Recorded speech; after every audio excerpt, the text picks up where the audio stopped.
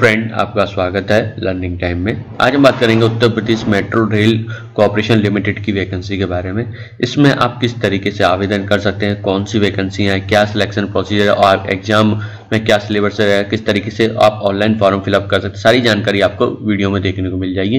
पर इन सब की बात करने से पहले, मेरी आपसे छोटी सी रिक्वेस्ट है, आपने अभी तक हमारे चैनल लर्निंग टाइम को सब्सक्राइब नहीं किया है तो प्लीज़ गाइज़ सबसे पहले आप हमारे चैनल को सब्सक्राइब करें, जिससे कि आपको daily all India government job की जानकारी मिलती रहे। फ्रेंड बात करते हैं जो हमारी निकली भर्ती के बारे में, जो कि Uttar Pradesh metro rail corporation में लखनऊ की है।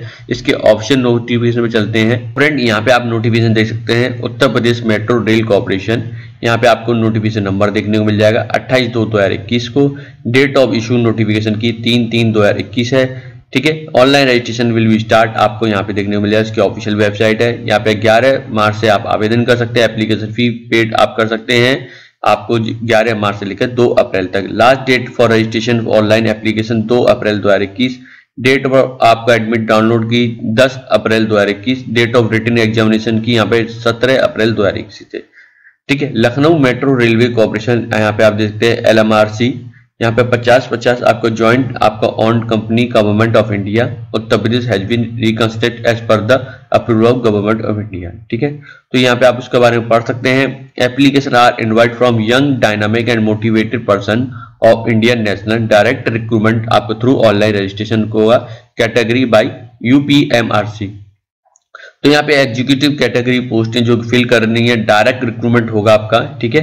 यहाँ पे ई ज़ीरो वन यहाँ पे post code assistant manager operation की 50 से लेकर एक लाख साठ हज़ार छह वैकेंसी ओबीसी की आ, आपकी यहाँ पर वन है यूआर कैटेगरी में चार एससी में वन वुमेन की वन है ठीक है? यहाँ पे आपको स्टिक का साइन देखने मिल जाएगा B B tech in electrical electronic यहाँ पे आप देखने मिल जाएगा कम्युनिकेशन में या equivalent from recognise university institute with minimum आपके होने चाहिए साठ percent mark U R OBC candidate vacancy फिर आप दे सकते हैं मिनिमम पचास परसेंट रिज़र्व कैंडिडेट के लिए, जो कि एस सी ओनली ठीक है, आयु यहाँ पे दे रखी है एक मार्च दो हज़ार इक्कीस के अनुसार आपकी इक्कीस से अट्ठाईस होनी चाहिए। ठीक है medical standard as per the Indian आप पे देख सकते हैं executive technical non executive technic category की पोस्टें यहाँ पे डायरेक्ट रिक्रूटमेंट होंगी। यहाँ पे देख सकते हैं एन ई ज़ीरो वन है N E zero two three four ठीक है? यहाँ पे station controller cum train operator S C T O यहाँ पे तैतीस से लेकर सिक्सटी सेवन तक आपकी सैलरी एक सौ छियासी वैकेंसी यू आर कंट्री में छिहत्तर है इकोनॉमी सेक्टर में अठारह है। ओबीसी में पचास है एससी में थर्टी नाइन एसटी में तीन वुमेन की यहाँ पे थर्टी सिक्स और एक्स सर्विसमैन की नाइन और डिपेंडेंट फ्रीडम फाइटर की तीन है। तो यहाँ पे आपको जो मिनिमम एजुकेशन क्वालिफिकेशन की बात करें, यहाँ पे तीन साल का इंजीनियर डिप्लोमा इलेक्ट्रिकल इलेक्ट्रॉनिक्स या यहाँ पे देखते हैं electronics and telecommunication equal from recognise government university institute साठ परसेंट मार्क होना चाहिए। U R V sector OBC vacancy and with minimum पचास परसेंट मार्क और रिज़र्व कैंडिडेट के एस सी इक्कीस से अट्ठाईस दे रखी है। यहाँ पे आप देखते हो one A one category maintenance आपका इलेक्ट्रिकल उन्नीस यहाँ पे आप देखते हैं उन्नीस से लेकर thirty nine fifty two vacancy यहाँ पे आपको पूरी डिटेल देखने में बाईस। यू आर इकोनॉमी सेक्टर पाँच ओबीसी चौदह एस सी और दस एस टी वन है। ठीक है वुमेन के लिए दस है। एक्स सर्विस उनकी दो और आपको जो डिपेंडेंट फ्रीडम फाइटर की यहाँ पे देर के वन है? तो यहाँ पे सेम यहाँ पे आपको देखने को मिलेगा आईटीआई या एनसीवीटी एससीवीटी से, ठीक है? आप पे दे सकते हैं, इन, आप इलेक्ट्रिक ट्रेड में होनी मिनिमम साठ परसेंट मार्क होने U R economy sector OBC ठीक है?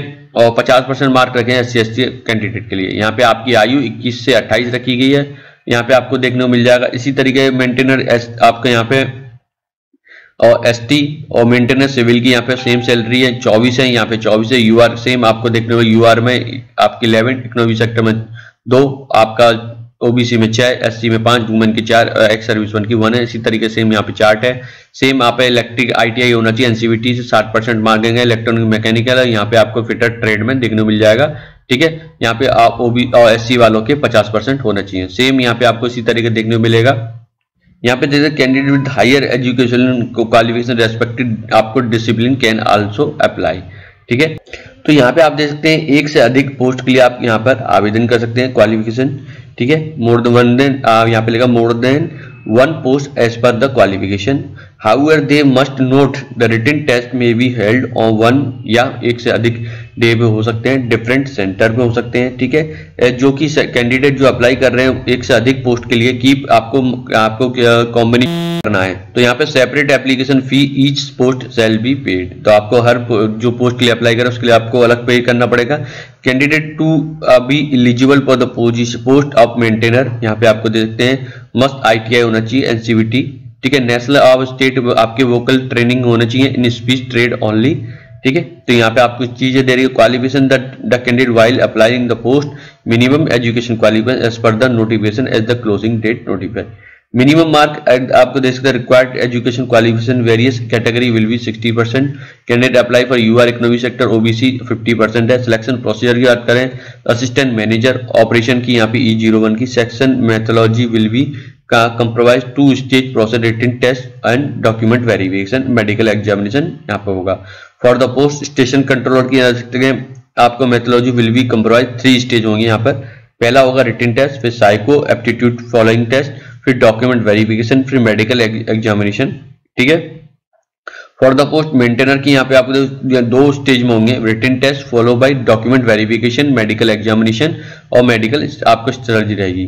तो यहाँ पे देखते हैं आपको biometric data candidate the capture taken at the time written test CBT और थ्रू आपका इलेक्ट्रॉनिक मीन ऑनली तो यहाँ पे आपको उसके डिटेल है तो यहाँ पे पढ़ सकते हैं। मेडिकल एग्जामिनेशन देखते हैं all candidate shall have to undergo medical fitness test and meet the medical standard as per Indian railway manual ठीक है? तो कैंडिडेट यहाँ पे आपको जो है medically discard disqualify candidate will be cancel तो यहाँ पे आपको सबसे पहले, यहाँ पे आपको मेडिकल तो यहाँ पे फ्रेंड आपका सिलेक्शन प्रोसेस होगा। वुड बी जज different fact knowledge skill comprehensive aptitude and physical fitness the candidate will have to pass each stage successfully ठीक है? तो यहाँ पे दे सकते हैं, आपको देखे including biometric verification document verification in prescribe medical examination before being adjustment in suitable selection candle who fail in आपका prescribe medical test will not be any alternative employment and declare decision the corporation is the final issue ठीक है? यहाँ पे आप देख सकते हैं, आपका रिटर्न टेस्ट होगा, उसके बारे में देगा ऑब्जेक्टिव टाइप के कंप्यूटर बेस्ड होंगे सीबीटी जो post will be held one या आपको मोर डे ठीक है question paper will be bilingual होगा, हिंदी और अंग्रेज़ी में होगा. The consist multiple choice question होंगे, ठीक है.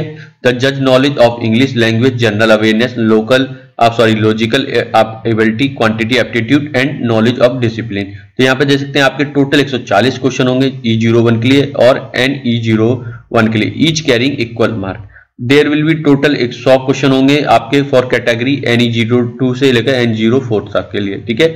आपको इक्वल मार्क होंगे, यहाँ पे there will be negative marking for each आपका एवरी रॉन्ग आंसर ठीक है? तो यहाँ पे इसमें कुछ क्लियर नहीं दिखाई दे रहा है, ठीक है? यहाँ तो यहाँ पे एक बाई थ्री दे रखा है, ठीक है? तो आपको एक बाई थ्री मार्क आपके डिटेक्ट कर लिए जाएँगे।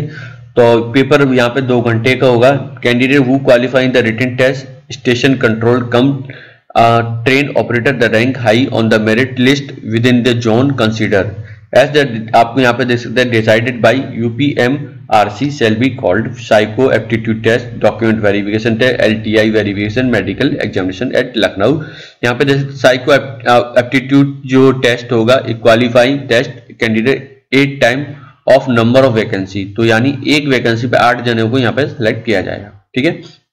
बाकी डिटेल आप देख सकते हैं। एग्जामिनेशन सेंटर की यहाँ पे आपको लिस्ट दे रखी है, जो कि आपका सीबीटी को, लखनऊ, कानपुर, प्रयागराज, वाराणसी, जो कि यहाँ पे आपको दे रखा है। मुजफ्फरनगर, उत्तर प्रदेश के शहर होंगे, ठीक है? यहाँ पे candidate must carry admit card one passport size photo यहाँ पे करेक्टर आपका ये दे रखा है कॉस्ट ऑफ़ ट्रेनिंग आपको दे रखा है, इसके बारे में यहाँ पे दे सकते हैं। कॉस्ट ऑफ़ ट्रेनिंग के बारे में आपको दे रहे कितनी कितनी पड़ेगी, ठीक है? तो यहाँ पे आप इसकी लिस्ट दे सकते ट्रेनिंग प्रोविज़न पे आपको दे रखा है रिजर्वेशन दे रखा है एज के बारे में आपको यहाँ पे दे सकते हैं, पाँच साल की आपको छूट रहेगी।